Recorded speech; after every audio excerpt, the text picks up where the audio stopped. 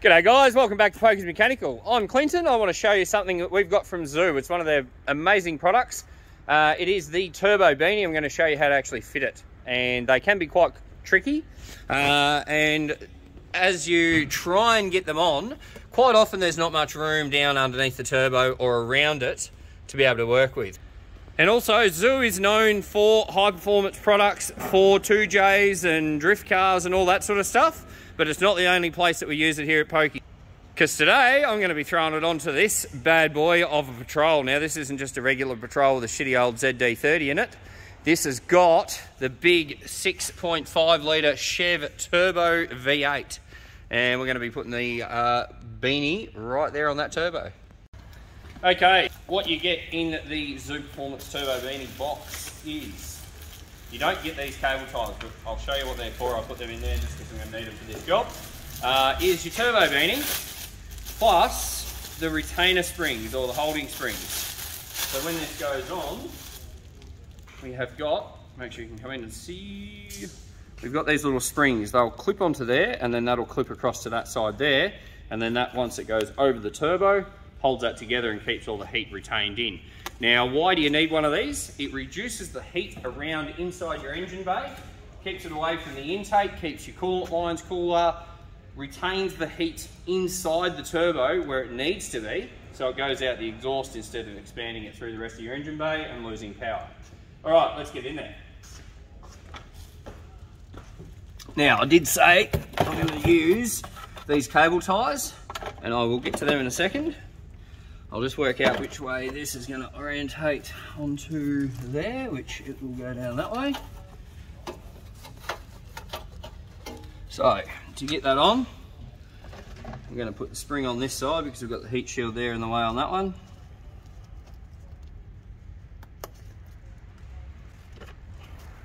And we've got one each side.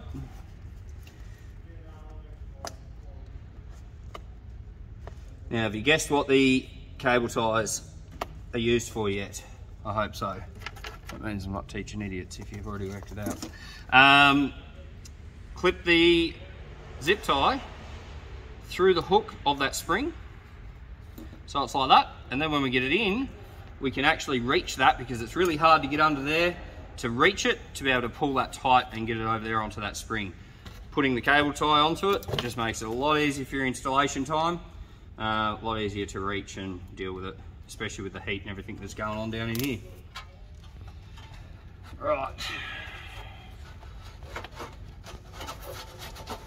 And wiggle this down. Make sure you've still got your cable tie attached to your spring. And get down behind that heat shielding. I'll poke this around underneath the intake side of the turbo so I can reach that there.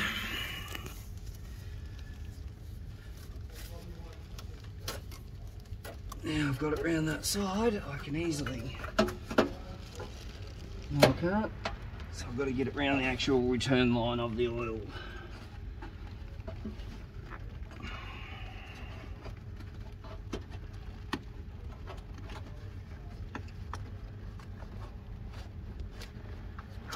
Right, that'll work that side. I'll make sure I've got this side in a position I can actually use it as well.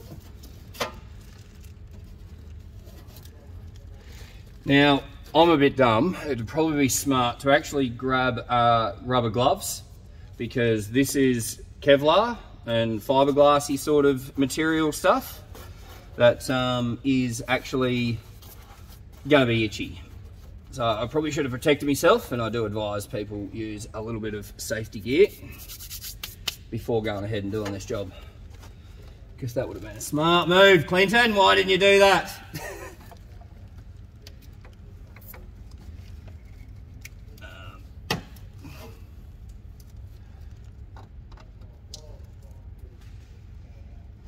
you kind of have to just trust me of what I'm doing here, of being able to pull that through with the cable tie, but once you get it through, you can just grab the spring. You may be able to see this side, I don't know.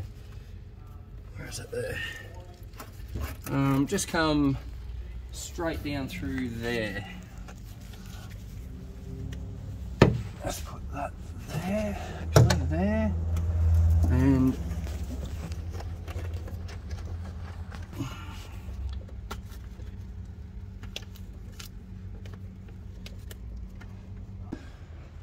Right, now that's on, that's it. It's uh, good to go. Once you've got those springs attached, I'll just show you here. So we've got that light, spring attached there, if it'll focus. Come on, there we go. So the spring attached there and spring attached to the other side. And as you can see from the back, that basically wraps all the way around over the top of that turbo really, really well keeps it all the heat in. Oh, one last thing before I go.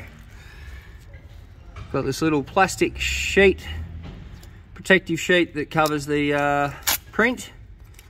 If you don't take that off, trust me, it melts to it and it looks terrible. Sweet, Zoo Performance Turbo Beanie install video, done. Now, if you want to get yourself one of these turbo beanies, jump on to zooperformance.com and you can pick yourself up a discount by typing in POKEY10 in the discount code for everything on their website. Oil coolers, turbo beanies, wastegate beanies, they've got the works on there. All their fuel lines, hoses, uh, joiners, couplings, everything. Cheers for watching, guys. Uh, if you like what you see here and you want to see more of what we're doing, we're going to be getting Zoo Performance products into the shop, setting this whole area up in the workshop over here specifically for YouTube videos like this. And uh, yeah, so make sure you hit the subscribe button, hit the like button on the video for us, and we'll see you on the next video. Cheers.